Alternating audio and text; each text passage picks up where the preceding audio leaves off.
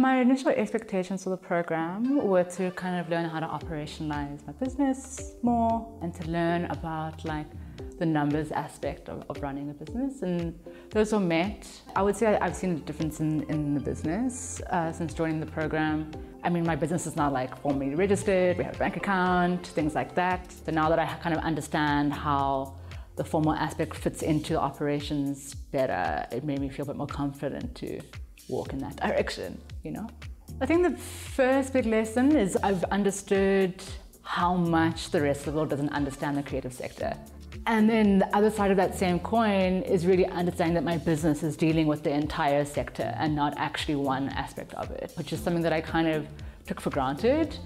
I think the most challenging part of the program was around the program like content and trying to translate the content to my industry. And also that it's six months. It's like a, six months is a long time. Whilst I think it's really good, it's also a, a long time to be kind of like multitasking. For myself personally, that was quite challenging. The biggest advice is people must just start.